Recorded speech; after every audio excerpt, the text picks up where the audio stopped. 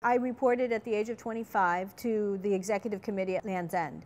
And it was a pretty crazy job because my job was working with that leadership team and making sure as we came up with new products and services, what we were going to do, how we were going to deliver an experience.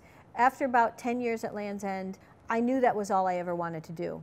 And so I deliberately, over the next 20 years or so, moved from industry to industry, taking that on the road to apply what I learned at Lands' End. And I moved to the automotive industry, to Mazda, to Coldwell Banker, a B2B franchise company, to Allstate, one of the largest insurance companies, and finally to Microsoft. And my goal in every single one of those moves was uh, in most cases, the role had never ex been experienced before. It didn't exist before.